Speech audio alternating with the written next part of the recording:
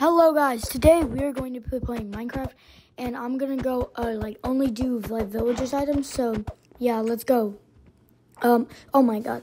Okay so uh let's see what we can do. Let's go into this house. Uh nothing.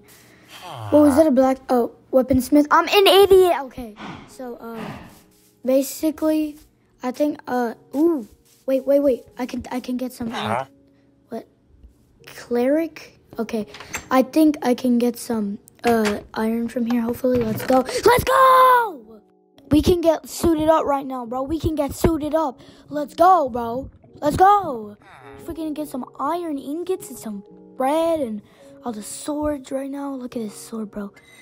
Oh, you got the saplings. The saplings. Oh, yeah, I'm also going to plant those. Like, I should plant those so that I can get, like, you know, trees because I thought it was just gonna be an only village uh place. Oh, by the way, I'm allowed to like get stuff from like trees and stuff, so I don't think there's really like.